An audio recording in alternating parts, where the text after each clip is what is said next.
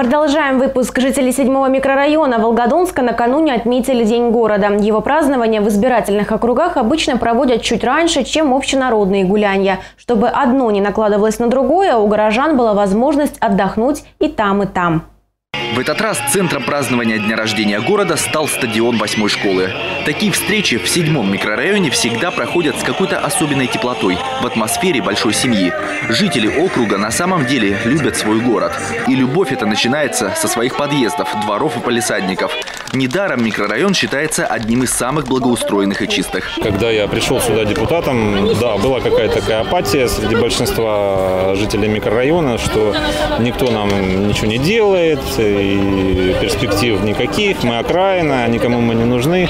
Очень сложно было бы переубедить людей в том, что действительно многое зависит от нас. Сложно было таких людей найти, но мы их нашли, и сегодня уже, да, действительно, многие дома, это такие благоухающие цветники, э, которые радуют глаз.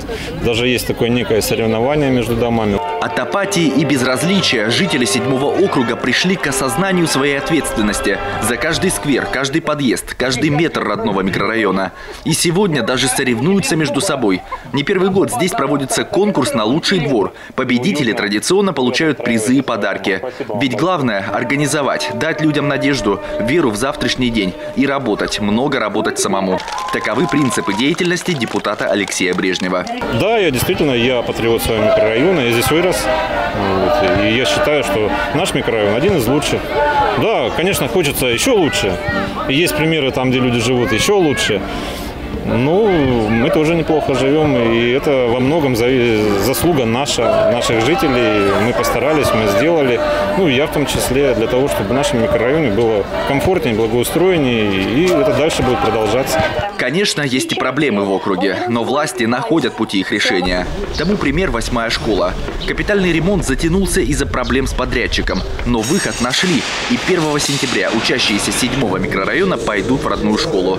И это далеко не единственное достижение. Микрорайон развивается. Эти слова подтверждаются делами депутата Алексея Брежнева. Этот год был достаточно продуктивный для нашего микрорайона. Это э, завершающийся ремонт восьмой школы, и детский сад «Гусельки», и педиатрическое отделение детской больницы. Выполненный наконец-таки ремонт улицы Степной, и освещение было сделано в этом году. В планах на этот год освещение нашего микрорайона, внутриквартальное освещение – это давняя моя мечта.